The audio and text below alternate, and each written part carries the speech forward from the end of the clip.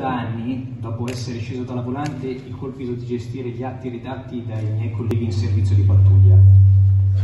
Innanzitutto voglio ringraziare la Polizia di Stato per avermi regalato nel corso di 21 anni esperienze professionali ed umane che hanno forgiato l'uomo che sono. Un uomo che divenuto padre di tre figli splendidi di 10, 6 e 5 anni insegna loro ogni giorno i valori della legalità e della convivenza civile. Oltre al mio incarico quotidiano, da anni i miei dirigenti mi hanno concesso l'onore di portare l'uniforme della Polizia di Stato nelle scuole. Un onore, un'immensa emozione poter entrare in numerosi pressi scolastici primari della provincia per proporre a, ai bambini e bambine tematiche di legalità, convivenza civile e rispetto della vita.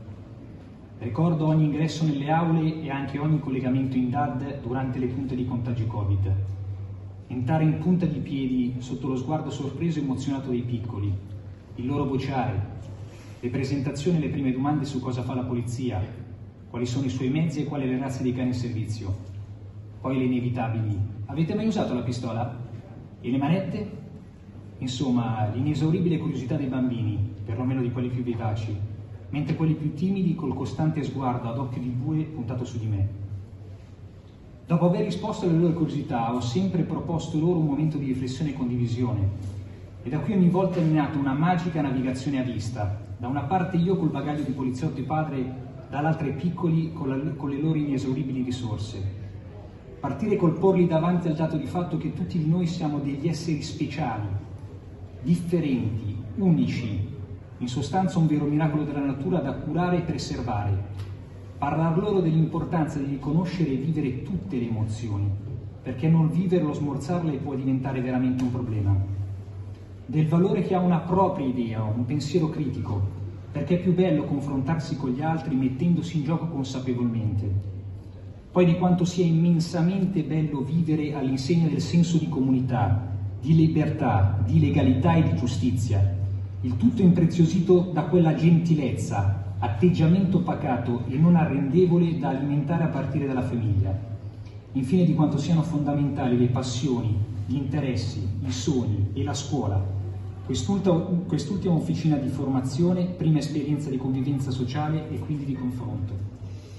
È stato bello ed emozionante quando i bambini si sono inseriti in questo parlare descrivendo loro situazioni, come ad esempio litigi, tutti spunti per me per poter entrare nel loro vissuto e trovare insieme il modo migliore per affrontare la cosa, sempre rimarcando l'importanza del rispetto vicendevole ed incondizionato.